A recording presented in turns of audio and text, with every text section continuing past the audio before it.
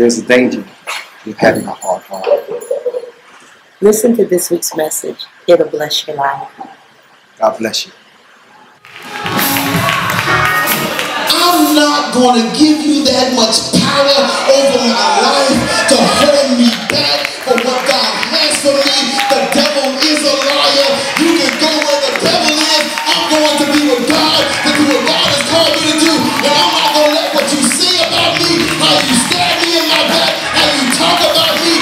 Mistreat me, how you drag my name through the mud, keep me from loving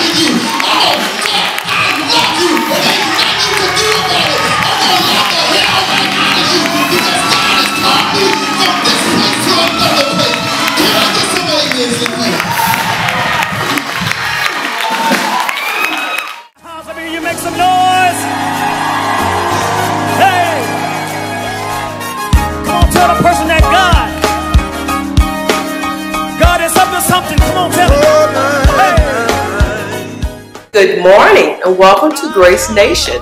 Our services have been fabulous thus far. We'd like to welcome all of our visitors here on today and pray that you will have enjoyed the worship experience. And now for our news. Good morning, Grace Nation. If you desire to be baptized by our one and only Pastor Rodney Cutter, please see Sister Teresa Jennings or Sister Letitia Hamilton.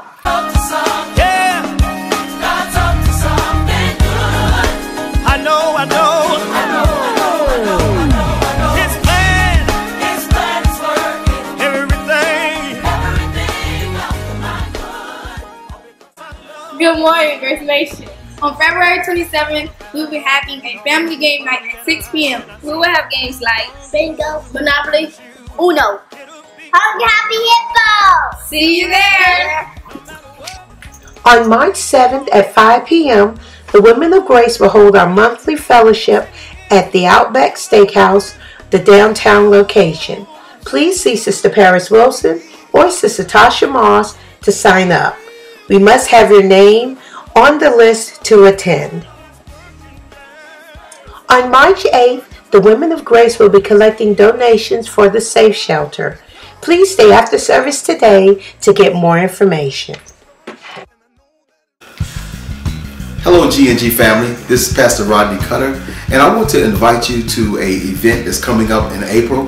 On April the 24th, we will be going down to Jacksonville to the Potter's House International Ministries to have fellowship with our Bishop, Bishop Vaughn McLaughlin. And uh, it's an opportunity for us as a GNG family to go down and experience all that they have to offer down there in Jacksonville.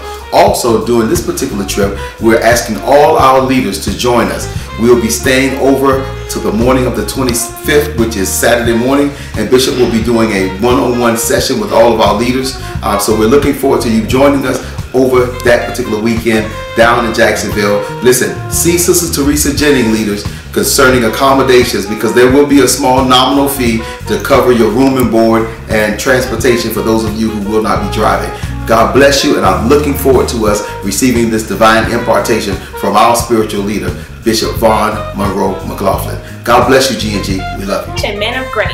If you have a lady in waiting that is in middle school or high school, then listen up. This event is just for you. On February 28th, here at Growing in Grace Ministries, from 12 to 2 p.m., we will be hosting a lunch with our princess. The event is $15 per person. Please see Sister Sean Stewart, me, and Sister Nina Hunter for more information. On February 20th at 7 p.m., Growing in Grace Ministries will be worshiping with Starlight Ministries as we celebrate with them their pastor's anniversary. Pastor Cutter is the guest speaker. Do you have a hard heart? What's the status of your heart? What causes a hard heart? Listen to part two of the message from last Sunday from Wednesday night. God bless you. And get ready. Today, we're going to talk about the signs of a hard heart. God bless you, GNG family. He says, when you see my blessings, don't hard your hearts because your heart has been bent towards what's popular, what's acceptable in the hour in which you're living in. The children of Israel, in the midst of the wilderness, experienced everything it took to get them out of Egypt